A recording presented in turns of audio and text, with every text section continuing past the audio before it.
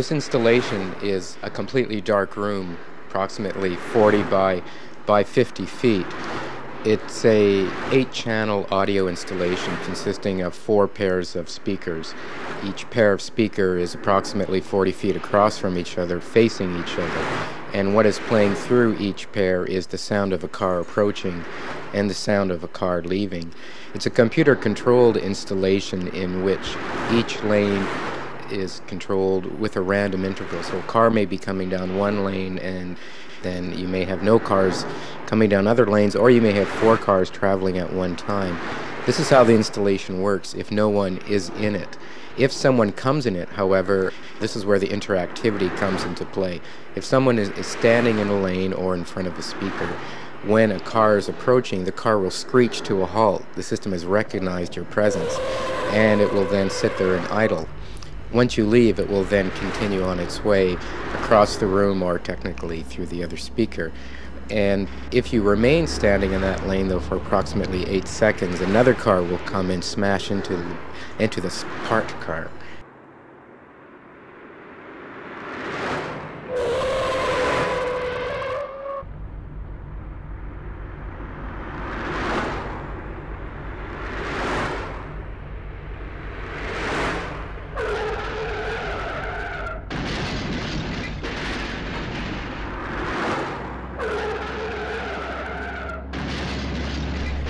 All of this is experienced completely in the dark. So people don't know what's going to happen. That's right. Actually, I've got to tell you, Don, this installation is one of the talks of the Sound Symposium here. What was your goal? What did you try to elicit from the participant? Initial motivation was to create a, a, sound installation in complete darkness. The content of the piece, though, for me is about fear, and is that often people are afraid of things that they can't see. There's nothing to be frightened of in here.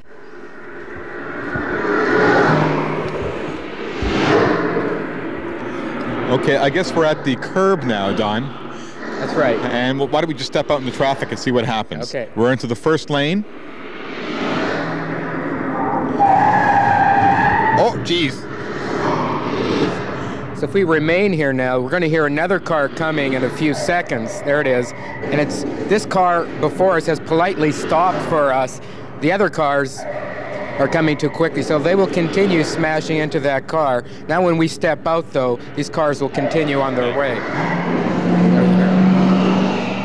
There they go. Now we're standing in front of a speaker, and we just tripped the uh, light switch. Is that the way it worked? Is uh, how to activate it? It's actually infrared. If you look on top of each speaker is uh, an infrared beam, which is being shot across the space, and that's being communicated then to the computer, which is controlling the sounds. So I feel we're standing between two lanes of traffic. Why don't we step into another lane, see what happens?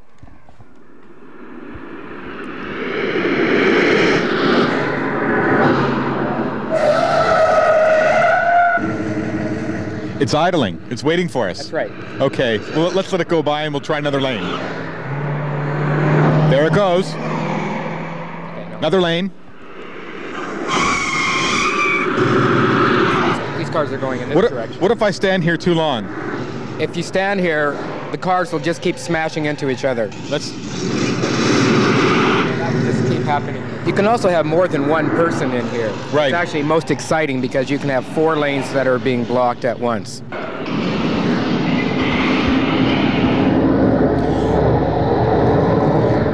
So Don, what's the response been to this? It's, uh, it's for me, it was quite frightening. I mean, the, the the speaker system was quite good. It was quite realistic sounding. It was loud.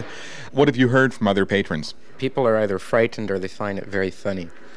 In the past, when it was exhibited, it was set up in such a situation that people were forced to walk through it. That exhibit had 10 large installations. This one was at the front of the museum. You were forced to walk through this if you wanted to see the other installations. And there are a few people who could not walk through it.